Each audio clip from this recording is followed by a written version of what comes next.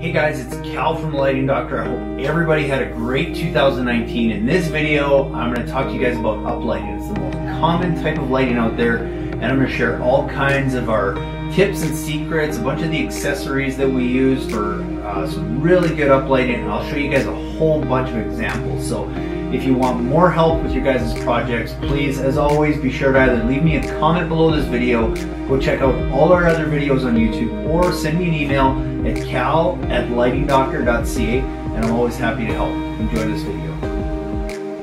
Okay, so I'm to dive right into uplighting, and when whenever you hear uplighting, it's also referred to as accent lighting, spot lighting, uh, sometimes wash lighting, flood lighting, and I'll kind of explain the difference between some of those. I'll show you guys some examples uh, and I'll show you guys a bunch of different uh, tools, accessories, and tricks that you can use uh, just to make your landscape lighting stand out a little bit more using uh, the most popular kind of lighting, which is uplighting, and also where I think you can save the most money because when people start looking at professional quality landscape lighting fixtures, uh, the bill can start running up pretty high if you're not using them properly. And uplighting is one of the most affordable ways to do it. Um, it's a great way to eliminate a lot of excess path lighting, and when you're doing it properly, you can usually get away with a lot fewer lights than you initially think. And I'm hoping that this video will help give you uh, an idea of that. So I'm going to talk about uh, two kinds of lights to get started, uh, especially particularly uplights, uh, which are kind of like your drop-in version. And then there's also an integrated version. So the drop-in version is is basically it's a good fixture like this one that you can go and actually drop um, LED bulbs into. Typically, old halogen fixtures uh, where you can drop in halogen bulbs, but now they've upgraded them so that you can go and retrofit a lot of those with LED lamps. And uh, to be honest, most uh, old halogen fixtures will be compatible uh, with the new LED drop-in bulbs as long as it's not a piece of crap fixture. I mean, if it's an old junky fixture, there's nothing's going to make it work again.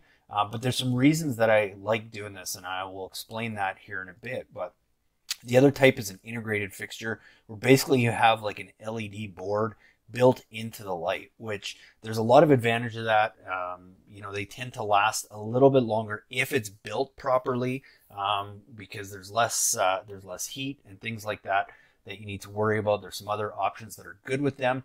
Uh, the reason that I like using the drop-in bulbs for most, especially do-it-yourselfers or people who are getting started, is it gives you the option to be able to go and change the way that light looks without having to go replace the whole fixture.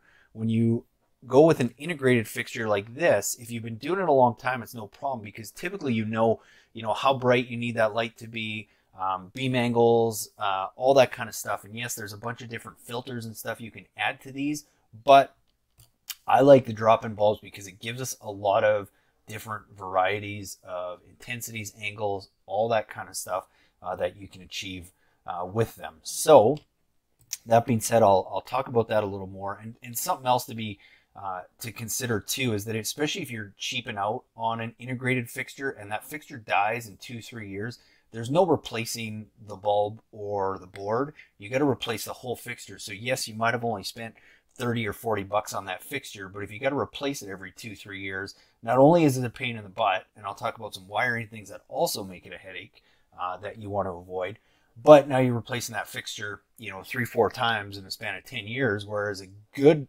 uh, LED fixture, uh, an integrated one, should last you 15, 20 years or longer. And if it's a drop-in bulb and that bulb dies, you can just go swap it out. So another reason I like doing that, especially if you're a DIYer or just getting started out. But here's an example of what you can do is with those different bulbs, now you can go pick different intensities, which I'll talk about, and beam angles. And yes, on the integrated fixtures, sometimes you can add uh, different spread lenses and stuff. Um, but just to give you an example, this is a 20 degree beam spread. So typically the narrower the beam spread is, the further that light is going to shoot up. So I'll show you some examples later where that's important. Um, most fixtures that you're going to find are going to be some form of standard, um, uh, standard 35 degree, 40 degree, 36 degree, somewhere in there is what they would consider a standard. And then you're going to hear about a flood or a wide angle lens, which on any of those uplights is like a 60 degree beam spread. And then after that, you get into wash lights where it's like 90 and 120 degrees. But basically, you can see the difference here. Here we have a 20 degree, you have a 35 degree, and you have a 60 degree. So you can just see that the tighter that angle is, uh, the further that light is going to carry up. So that's important, especially when you're trying to light really tall structures, flagpoles, palm trees, and that. And sometimes you need to push the light a little bit higher. Typically, you got to use a higher intensity light as well as narrowing that beam angle helps spread that light a little bit further. So just something to keep in mind. Um, so this is an example of just the different intensities of light. So when they talk about one LED, three LED, six LED, and nine LED, that's just uh, that's really the amount of LED chips that's in an integrated fixture. But how that relates to a, um, a drop-in bulb is this would be the equivalent of about a three watt um, a three watt lamp at about 170 lumens. This would be kind of your standard um, four to five watt lamp that puts out about 250 lumens. Then you got your six LED, uh, which would be the equivalent of about a five or six watt uh, LED that puts out or drop in um, that puts out about 350 lumens. And then here you're probably closer to five to 600 lumens, uh, which would be about a seven, call it a 70 watt LED lamp. But I always tell people don't get too hung up on how many watts because a lot of the cheaper fixtures that are out there will say um, three watts, but they might not put out as much as much light, or they might put out, or they might say they're seven watts, but they're still putting out less light. So really, you want to look at the lumens. Um, the lumens is really the brightness of that lamp. So 170 lumens, 250 lumens, which is kind of your standard. 35 lumens, I would say, or 35 lumens, um, 350 lumens. And I think I said 250 here, 350 here. This would be anything that's probably, you know, 20, 25 feet or higher. You're getting into something like that. And then when you get into the um, the 500 lumens, this would be something that, you know, those big massive trees that are, um, you know, 35, 40, 50 feet or higher. And if it's really high or it's a palm tree or something, that's where you might have to intensify or tighten that beam angle to push that light a little bit further. In other terms, a lot of times you'll hear lighting referred to as uh, halogen equivalent. So it's how it would compare to a halogen bulb. Um, so again, this would be about a 20 watt halogen equivalent. This would be about a 10 watt halogen equivalent, about a 35 watt halogen equivalent, and this would be a um, approximately a 50 watt halogen equivalent. So that's how you can go compare, uh, and it gives you an idea of really what I would say uh, when it comes to uplighting are your most standard lights. When you get into wash lights and some different lights like that, there's some other things to consider, uh, like frosted filters, which tend to uh, make it less bright. Also, again, the wider that angle is, the less bright that light is going to appear. Um, color temperature. This is another question I get asked all the time when I say LED. People think, oh, is it that white LED light that you're used to uh, in like an office building and that kind of stuff? And no, it's not because most of the LED fixtures now either come standard uh, with a 2700 to 3000 Kelvin color temperature, which is that amber, that yellow light, that halogen or incandescent looking light color that we're, we're used to. Uh, most of them come standard like that, or they have a filter that makes them like that. If you like that white look, then you can still get those, and that would be something closer to a 4,000 Kelvin temperature. So that's something else when you're going and buying those landscape lights from uh, the big box stores and stuff. Check the color temperature because a lot of those LED lights are actually this white light, which is fine if that's what you're looking for, but that's not always what you're looking for. And then you can see at 4500, it kind of starts to become a little more green. And then at 5200 is a little bit more blue. But um, this isn't uh, this isn't green and blue like Christmas and um, and red like Christmas lighting. Those are actually uh, lower color temperatures, and it, it, actually tends to bring the brightness down. So, you know, one thing we do a lot in the holiday season is we'll go put colored filters on top of our lenses for like red and green, uh, so that people don't have to go and put a bunch of Christmas lights. The only thing you need to know is it's not this green. Um, this is a different green. This is not the Christmas color green. And when you put those red and green filters on, what it does is it makes the light less intense, so it's not as bright. So again, another reason why I like using these guys is because what we do a lot of times now, instead of going and buying this big expensive color changing system, say we have a, um, let's go to intensity actually so say we have this, we have a three watt LED uh,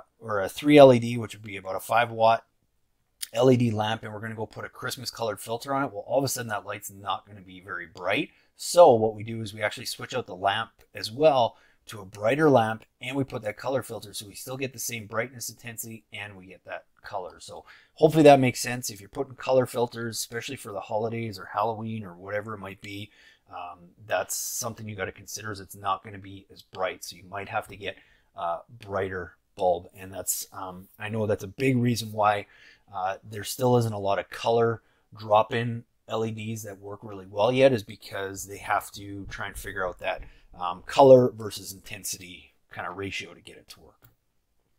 Uh, so here's another version of the integrated fixtures that you're going to see a lot. And that's why I like staying away from these. One, these are pieces of junk and you can find these all over Amazon. I mean, I don't think I really need to say much about it.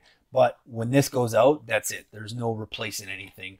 This is garbage. So a lot of times people will say, oh, we shouldn't have lighting. You're using so much extra energy. It's bad for the environment, blah, blah, blah, all this kind of stuff. Well, if you're buying a good quality fixture, it actually uses less. The better the quality fixture, the less power that it's wasting as opposed to these kinds of things. And the better quality fixture is going to last forever, whereas these just end up in a landfill anyway, and they use more power. Um, with any of the systems we install, they're low voltage, so you're going from using high uh, output 110 volt uh, lights on your garage and that kind of stuff to down to 12 volt lighting. So it uses way less power. So if you're still going to have landscape lighting and you're worried about the environmental impact, well, get a good quality fixture. It's going to be more efficient. I mean, it's just, it's common sense and it's going to last longer. It's going to stay out of the landfills. Um, so if you still want landscape lighting and you want to just at least try and do your part, that's a good way to do it. Um, the other thing too is a lot of those uh, cheap fixtures that you find on Amazon and Home Depot and places like that is they usually come with connectors kind of like this and like this guy. Uh, and the problem with those is that if you look here how you do this, two problems. One, you're just stripping the wire here or you're just separating the wire and then you're tapping right in. So I have this happen all the time. I get called out because one, they have these connections and it and it stopped working because these are designed to pierce into the wire. So this is an insulated jacketed wire that goes underground, in the dirt, in the rain, in the cold. What do you think is going to happen if you start piercing that with connections that are leaving them exposed? And even though they screw tight, there's still air and everything that gets in there. Eventually, that connection becomes corroded and it doesn't work. And then the other problem is now when you have to go replace that, you got no room because uh, th there's no stretch here. You just basically tapped right into this wire. So there's you can't take that uh, connection out because if you do, you have a hole in there, right? So now you got to make two extra connections because you got to add some extra wire to go put a proper connection in. So I, I hope that makes sense. But the basic point of it is any kind of connector, yes, they're way easier to put in, but they're easier for a reason. They're cheaper for a reason because I almost guarantee you, because I get called all the time to go and replace these, and then I got no room to work with, so I got to put double the connectors in, waterproof connectors, the proper ones to make it work. And I'll talk more about some of those connections in a little bit. The gist is stay away from anything like this that pierces into the wire, because I promise you it will be a nightmare some for somebody else if it's not you.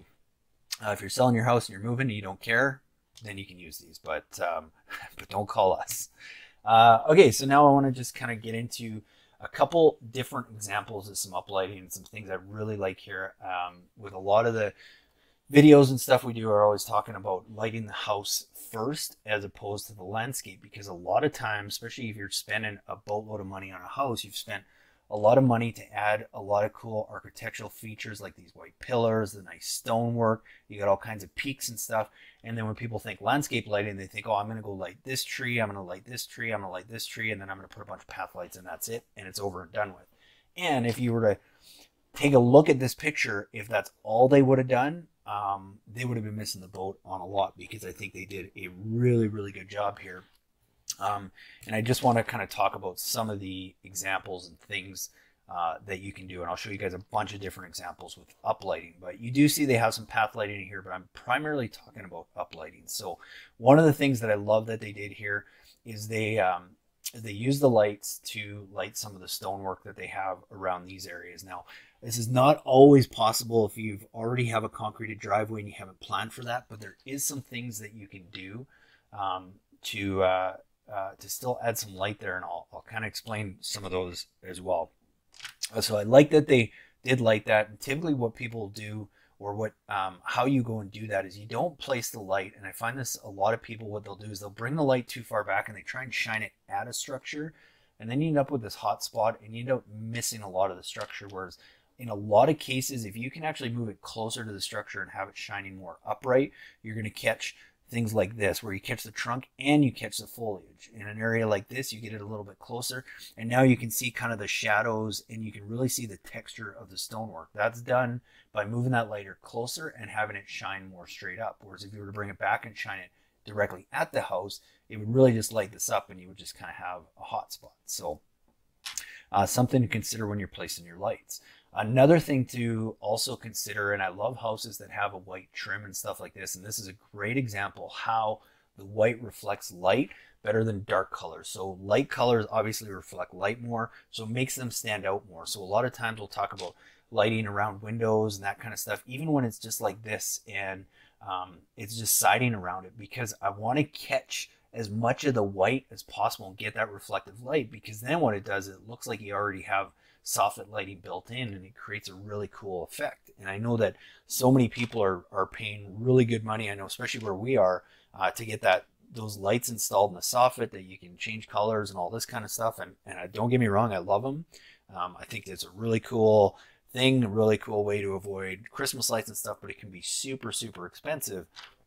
Whereas this is a perfect example where they put three lights down low, way low, um, probably about a 35 watt equivalent LED lamp with a slightly narrower beam angle. And now they've got like this whole top section glowing. And that's why um, I love taking advantage of that, especially in an area like this where most people would not think to put anything here because it's just siding and there's not really anything to show.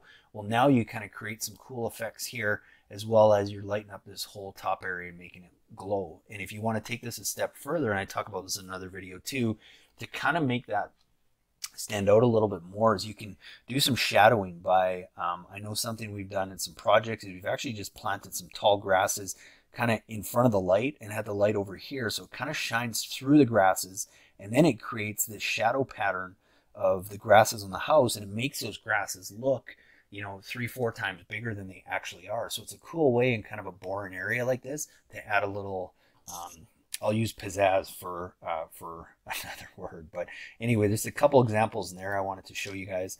Um, I wanted to also show you uh, two really good examples here. I won't talk too much about the path lighting because this is an uplighting video, but on these larger, these giant oak trees, um, this is something where typically you're not going to get this with one light. So as you can see here, what they've done is they've actually used two lights on both sides and kind of have them shining up a little bit further to try and catch as much of the branching structure as possible. And on these tall trees, this is where you're looking at at least a 35 watt equivalent or a 50 watt equivalent LED lamp. So, you know, a five, a six to seven to nine watt LED to really do a good job of lighting a tree like this. Um, another thing I like doing, and I'll show you some tree mounting options. Um, but in a scenario like this too, you know, sometimes you might have the two lights here and then actually mounting a light in the crook of the tree that kind of shines up here because then you can really uh, get that light up into that canopy. You don't see that fixture. Um, it's pretty easy to fasten it to the tree. Um, but the gist of it is, is on a tree like this, and I find too many people try to light um, too, too big of structures with just one light when a lot of times yes it's a little bit more but you're better off using two three sometimes four lights on a structure especially if it's something you really want to stand out. I would rather see you have one amazing tree like this really stand out than trying to light every single bush on this property. So spend the money to really highlight this tree because this is something that um, that looks really good. Another thing I wanted to show you from this example that I really like is how they've kind of done these stone pillars and the um, uh, and the white pillars here. Now you don't really see the light here, and I think one thing you could do is this is where using maybe a little bit higher intensity and a narrower beam might push that light up a little bit further to the posts and to the top of the soffits here. But I like the way they've put it behind these plants. They've lit up these pillars so you see the texturing of the stone. Then you still have the silhouette of the plants that are in front of it, uh, which silhouetting is a really cool thing too. You don't always have to light the structure. Sometimes you can backlight things um, to get that silhouette effect, and then you still have the structure lit up. So those were two things I really, really liked on this project. Um, th this one just real quickly, I wanted to, uh, I really wanted to just show this area. Now there's some cool things they've done with some downlighting here to light these pillars from up above, uh, which I like. Um, that's more of a downlighting video, which I'll, I'll make one of those. Um, but it's, it wasn't going to be doable to put lights down here. Not that they couldn't do it, but it would be very expensive and time consuming to put lights down here and have them shine up. Well, uh, so what they chose to do is actually uh, put their lights up top and shine down, which I love because I mean, obviously you can see that's a really cool effect. But what I wanted to show you is is this area here, and I like doing this because what most people would do is they would just throw a bunch of path lights in here. And I don't think you necessarily need to light up this pathway area because you've got some good light here.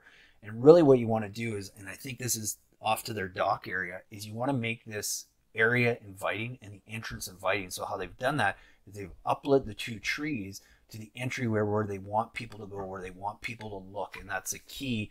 Um, you know, that's why we always say, you know, if it's entryways of the home, if it's entryways to your driveway or anything like that, wherever you want people to go, and particularly where you want their eyes to go, those are the things you want to highlight. Where if you put a bunch of path lights or two path lights in here on both sides, then it just becomes overkill, and that's not always what you want to do. Um, I always have the theory that less is typically more. So fewer lights to get a better effect. And not only that, it's also a lot better on your pocketbook. Um, another great example of how they've taken advantage of these pillars. Um, nice white house, and you can see how it really, really shows them off here, and they've done a really good job. And it looks like this whole area has lights. In reality, there's nothing up here. It's just coming from below. But because they have that um, uh, that nice white trim and they've taken advantage of that. It really shows it off. And then I like what they've done here by also uh, placing a light up top and catching that second story peak. And this is most likely a wash light. As you can see, it's a lot uh, wider angle beam. You don't need the light here to be as intense. You just want to cover a larger area. So that's where a wash light comes in really good. And I'll talk more about those in a sec. Um, and how they did that is with gutter mounts. Um, it's a really easy way to do it. I'll, I'll um, I think I got pictures of a couple different mounts, but uh, gutter mounts is a really easy way to mount a light in a gutter uh, and have it shining up. And the way you do that is basically a gutter mount looks like this. It fits in the gutter just like so, and then you screw the fixture into the light and then you can angle it where it needs to go. So here's what it looks like. It's got a half inch thread, as do most uh, landscape lights are going to have a half inch thread, unless it's, again, one of those piece of junk ones, then who knows what it's got. Um, but they typically have a half inch thread. So really any mounting bracket, bracket that has a half inch thread, you can use a standard uh, uplight, wash light, and so on. And that's kind of what it looks like. And then you can still angle it to wherever you need to. Um, you can put all your connections and wire and everything right in these troughs because, like I talked about earlier, it's all going to be waterproof wire connections. So typically what we'll do in a case like this is say we wanted to get a light up here. I would actually run that wire right up inside the eavestrough. Again, our wire is insulated. It's going to be fine. We're going to use wireproof connectors and I'm going to run my wire and my connections right in there so they're totally hidden. Nobody would ever see it. And then I mount that light on that second story and really I'm the only one that knows it's there. And we can do that again because we're using these waterproof fixtures. These are two of my favorites. Um, there's some other ones I'll, I'll, briefly touch on, but I like these because these are both gel filled. Um, this tube is gel filled and these guys are gel filled so that when you slide the wires in the ports, um, and if you want more info on that, just search uh, Lighting Doctor on YouTube, um, wiring diagram, and I got some really good examples uh, that shows you exactly how to go and do this. Um, but with any connector you're using, and there's other ones too that are very good, but you want to make sure they have two main things. They've got some kind of waterproofing, uh, gel filled, uh, whatever it be, but something that's going to keep the water out, whether it's uh, a bag that's full of gel, there's many different versions, and you want to have some kind of mechanical um, uh, connectivity. And all that means is so that it keeps the wires from pulling apart. So when the wires go in this one, this part snaps closed and the wires are in there nice and secure. When you wire the, the wires into this nut and slide it in here and snap this closed, both of those are going to be very tough to get the wires out. Uh, another good measure, it's always a good idea to either zip tie the wires or put some extra tape just to make sure that they don't uh, pull out because the last thing you want to have to go do is digging up um, digging up wiring connections. But uh, waterproofing and those mechanical connections are a must. That's why those piercing ones I just don't like because you have no integrity whatsoever when it comes to waterproofing. Um, I wanted to show you this example. Now these are up lights, but these are more in-ground lights that are in the concrete. Um, I'll show you some examples of those, but um, it's more that the reason I like this is they took advantage of the entryway, right? I just talked about where do you want the person's eyes to go. So in this case, they again, they didn't use a lot of path lights. They used just enough uh, to give a little bit of light on the walkway, but they really want to just take the visitors or your uh, attention to the areas you want. So they have this island area here where they lit up this tree and some path lights here. So they've got this as a viewing area. And then they went and they made the entryway very inviting by lighting up these two large pillars and then as well with this tree over here so that as you're walking in, um, you know, it's very balanced light and it's not overkill with a bunch of extra high maintenance lights that you're going to have around this walkway. And the other reason I wanted to talk about this is that anytime you are doing this, um, throwing some lights in an area that maybe by an entryway or a high walking area or traffic, in a lot of cases, you might want to add something called a hex baffle. Um, hex baffle is just this honeycomb filter. It fits over the bulb or the lens. And all it does is it helps keep some of the side uh, deflection of that light from going in your eyes as you're walking up and down. It's a very cheap add-on, uh, but anytime you have an uplight that's in kind of a high traffic area, it is something you definitely want to consider. And basically just slips under the glass, over the lens, um, and that's it. So here's a here's a light I wanted to talk about. This is a newer one. I've done some videos on this.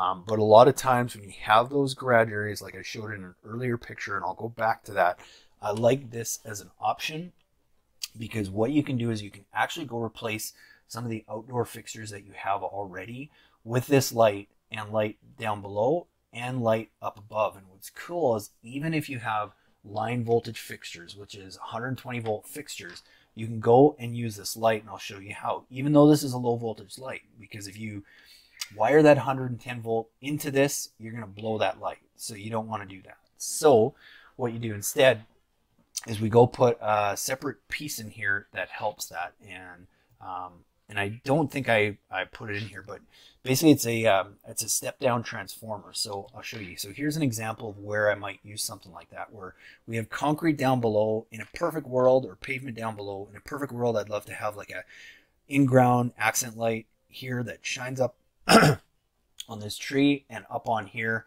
uh, and then maybe even gets to the tops. But I don't want to have to go digging into asphalt and, and all that comes with that. So what I could do, because in a lot of cases, you know, I find that a lot of houses we do, people either don't leave these on or they're so bright that they just overwhelm the, the whole area.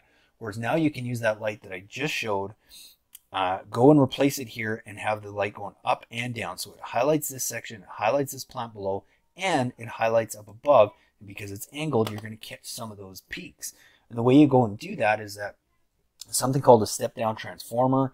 It's like a $17 little part that basically you go and take your 110 volt wires that are coming from the house, you wire them into it, and then you wire your low voltage fixture into uh, that step down transformer, and you can easily go convert these lights. So uh, it's something I like doing.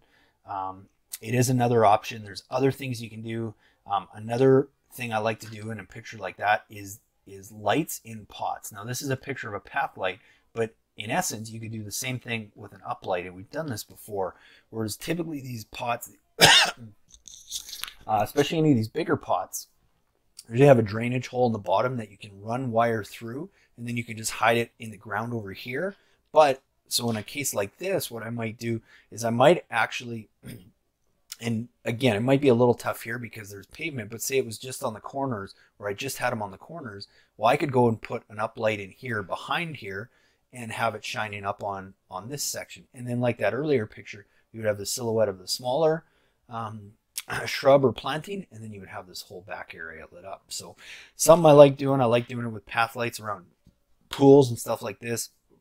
Anywhere where there's a lot of concrete, you don't want to have to mess with having to throw, um, doing a bunch of drilling into concrete and all that kind of stuff. It's kind of a cool way to go and um, uh, and add some lights. So I, I, like that idea. Again, this is um, this is an area where you could do that right here. So instead of if you couldn't put these lights down below, you could have a light like that up here and it would shine down below and it would hit the top of the soffit, which would give you the same reflective light look that you have here, but you wouldn't see this glaring uh, light source, which in this case, they did a good job of softening that light. And that's something else I'll recommend is anytime you have these lights and you want them to fit into your landscape, you probably want to use a lot uh, less intense light in there than you typically would. You don't want to use, um, you know, a big 100 watt halogen fix or bulb that's just going to be, you know, when you look at it, that's all you see. You want something a lot softer, a lot, a lot subtler. A lot of times, what people will do is um, those kind of fake flame burning uh, light bulbs. They'll put those in, and that can be a cool fixture or feature too. If you don't want to get rid of those altogether, and you're still able to maybe do some of this, but you don't want this to take over the scene, um, you can go do some things like that. Another example of why I love lighting the house. Um, and again, a lot of people just think light the landscape and don't light the house. But I think in a case like this, if you were to do that, I know what would happen. They would have these two trees lit up, and then they would have a bunch of path lights here, a bunch of path lights here, and a bunch of path lights here, and that's it. And then this whole house area would be missed. And although they don't have rock work or texturing uh, or anything like that here, you can see how even if it's just siding, how just placing the lights properly in the right positions, um, nice and balanced. Uh, that's the other thing you always want to consider when you're putting lights. It's not so much that you're lighting every structure or everything, it's that you just have a nice balance of light with even consistent spacing throughout the whole project. So on this whole house, they've used one, two, three, four, five, six, seven, eight, and then two lights back here. So 10 uplights on this whole area. Whereas I guarantee you, if they would have done the landscape, you'd have two uplights and you would have probably four or five path lights, four or five path lights, and then a bunch more. It would be a lot more expensive than if you were to just do what they did. Um, and I'll just show you this as an example too, but this is another area where there is flower pots. And what's sometimes cool is if say you did want to light this front step a little bit more is putting those path lights in the flower pots. Cause the other thing that does is if you get them a little higher up, it's going to highlight the flower pot as well as it's going to cast that light a little bit further on this area here because that light's a little bit higher up. Um, and that's a path lighting is another video, but I'll give you that um, uh, just to consider. Again, some more examples where they've just taken advantage of the house here. They haven't gone uh, overboard with path lights. They have actually just two in the very front here that kind of highlight the stepway, and then they've just lit up the back here uh, with some different um, uplights. And then again, you can see on these larger trees, they've used more than one uplight, a higher intensity one, because they want to catch more um, of that tree and they really want those to stand out. And then something that's kind of subtle here, which I like doing too, um, and a lot of times, if you can and you have a tree like this, maybe it's close to the house, it is kind of cool to be able to, in some cases, get that light a little bit further back and have it shining through some of the branches so that you get some of the cool shadowing um, in the background too, which is just another neat feature to add on. Again, another example, it's just siding. Um, so most people would think, well, why would I light my house? Well, here's a perfect example of what three uplights on this side, and then there's you know a couple more over here and one in here. But again, like maybe six uplights and a couple they put on this tree, so call it eight uplights. Um, and I would say this is a pretty nice looking design. And again, this is an area where you can see how this is a garage light, and obviously this is for security, but how bright that is and how bright this is compared to um, what you get on the rest of the house. And that's why uh, a lot of times we'll try and go replace those with something that's um, maybe not as intense. I think it would look really cool if this was like a, one of those flame burning, burning lights. Um, and it looked like a gas lamp almost, and then you really had the, the nice features of the house. But look how high up that light gets and reflects off that trim and how much extra light they get even down in the garden because of that white. Again, that's another thing that why you don't need to use a lot of path lights. If you're using reflective light, in a lot of cases, you can light up those areas very subtly without having to throw a bunch of extra path lights. Um, perimeter lighting is another thing that I want to talk about in a lot of areas. Um, in a yard that's uh, very enclosed and you're looking out, and I find this a lot when around pools and stuff, they'll have uh, stuff like this behind. and it's tough to put light around the pool because there's a lot of concrete so you can use that flower pot idea that I talked about. But sometimes if you put a path light down by a pool and you're swimming you're looking right up into that path light. Whereas this is an example where they just lit the perimeter. So I mean this is a cool idea. You're not always going to be able to do that but even if all you did was a couple wash lights in an area like this um, you know, an area like this, they use in-ground lights here, but all they're doing is just having some consistent, like there's two lights in here. That's it with some consistent spacing and probably another one or two in here. They've just consistently backlit things so that as you're looking out, now what would have otherwise been just a big dark nothingness to look at, they have lit. And what's cool is that, you know, this is what I talked about. If you have some even just some small plantings you can get in front of those lights, you kind of create the cool shadowing as well, and it makes everything look bigger. So that small little light all of a sudden puts out a big effect. Um, another idea, uh, another idea for perimeter lighting and that uh, that silhouetting, like I talked about, rather than because if you were going to go try and light up each one of these, I mean, all of a sudden you get it, it's going to add up because you're going to have a lot of lights or how do you decide which ones to light and which ones not to if you're trying to cut back? So another way of going about it is actually just back excuse me is actually just backlighting the wall and getting the silhouette of it whereas now you got three lights uh, and you get the effect of everything that's planted in here and not just the front look of that tree where you probably wouldn't even see that you have this you know really cool brickwork here. And then over here, this is an example of what I was talking about. If you can get that light a little bit behind kind of a different structure, whether that be a grass or some kind of unique planting, and you create that shadowing effect, um, it just it makes that little light have a really big effect. So I just I love doing that. Again, just another idea of some wash lighting and just some perimeter lighting. Again, in an area like this, what most people would do is they would just throw a bunch of path lights in here, but really all you're doing is lighting this this lower section. And this isn't the best picture, but it shows you how you can just go and light and show the texture of this wall. And it's not even that you have this many lights on it. It's more, um, I want to show you this because it's really, it's about consistency of spacing. So you could probably use half as many lights because you don't need it lit from section to section as long as they're evenly spaced. So it doesn't look unnatural. Um, that's the best way to go about doing something like that. But again, it saves you having to have a bunch of path lights that really are only going to light a certain portion of that wall. Now these are the in-ground lights that I talked about. I mean, some cases um, you are going to want to use some in-ground lights as opposed to a light that's sticking out of the ground. Uh, the reason I like these is anytime you have to place it in a grass area that you don't want to have to trim around a light, um, having an in-ground light like this is a is a great way of doing it because it sits flush and you can just mow right over it. You have the same intensity bulb options that you did with the standard accent light. These ones tend to cost a little bit more because they have to be uh, completely waterproofed and concealed in the ground. So that is something to, to consider. So if it's budget that you're looking at, um, any place you can use an accent light or, or a standard uplight, you're going to save some money.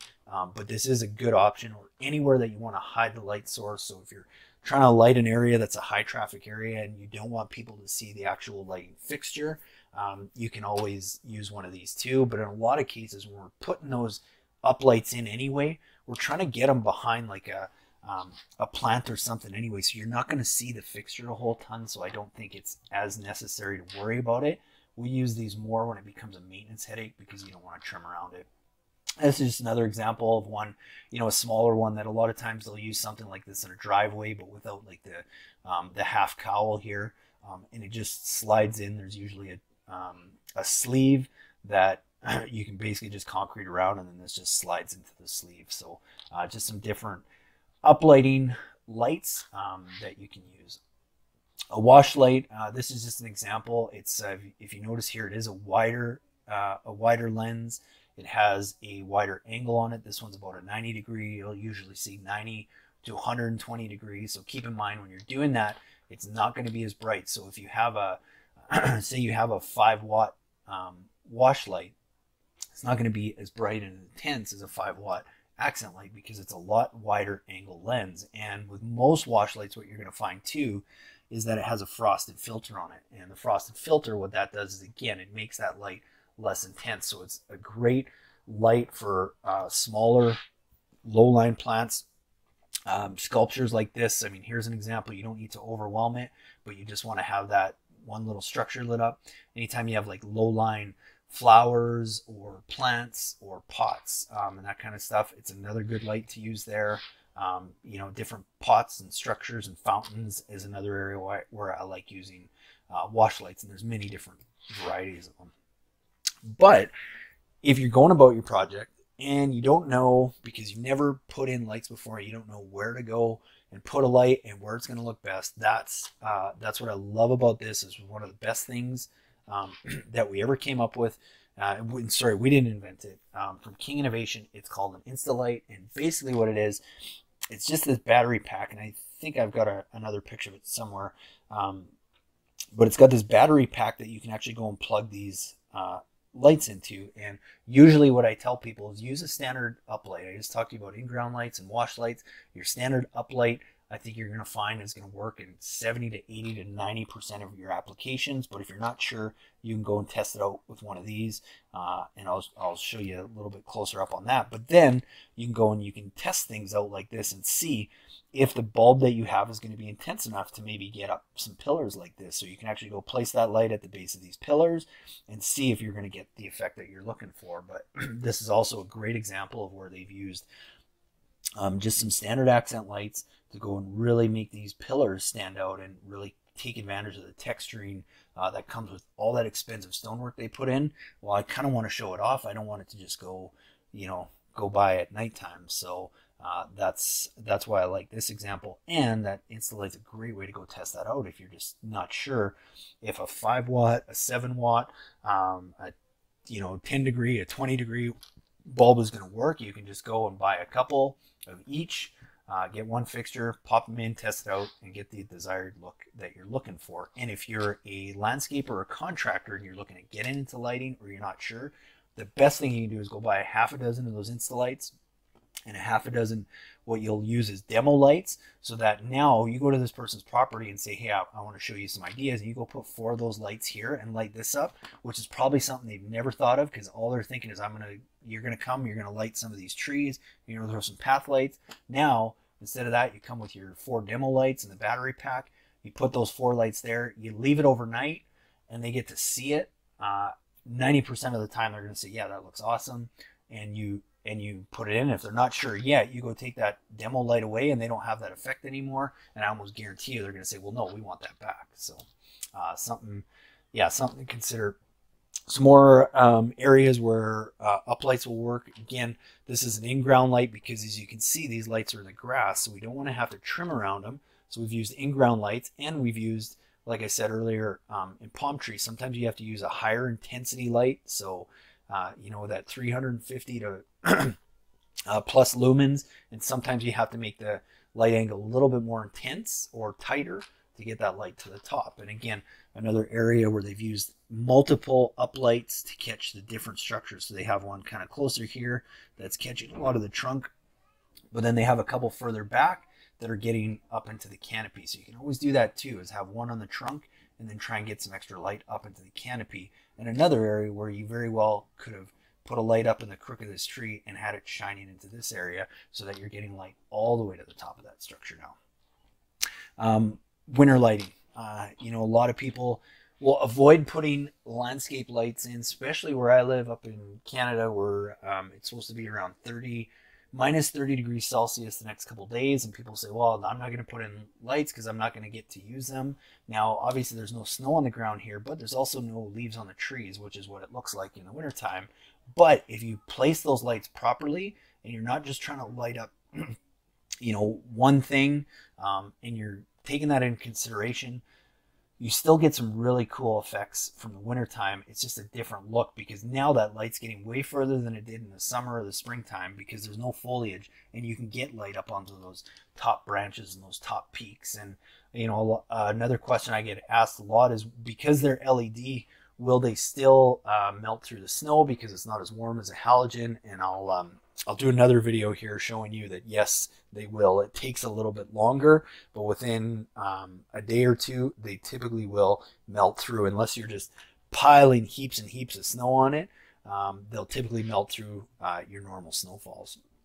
Uh, something else I'll talk about is risers. You know, in some cases, you're doing a landscape uh, lighting project and you want to put that light close to the uh, close to the pillars of the house like I talked about, but you can't because there's shrubs or there's something there. So maybe you need to get that light a little bit higher above those shrubs so that you can still highlight that structure. That's where a riser comes in.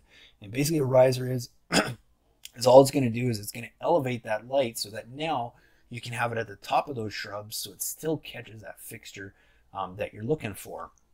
And really all a riser is, is I mean, you can buy them, but you can also just go to Home Depot and basically all it is is it's a metal pipe with half inch threads, male th threads on both sides. So you can do that with a PVC pipe or whatever you want. And then it's got a female coupler that's got half inch threads on both sides. And then your fixture, it doesn't show it here, but has half inch male threads. So the fixture goes into the coupler, the coupler goes onto the riser, and the riser screws into your ground stake because it's all half inch threads. And now you can get that light up above any shrubs or, or anything that um, you need to get it a little bit higher uh, over. So risers are sometimes a really good feature to have.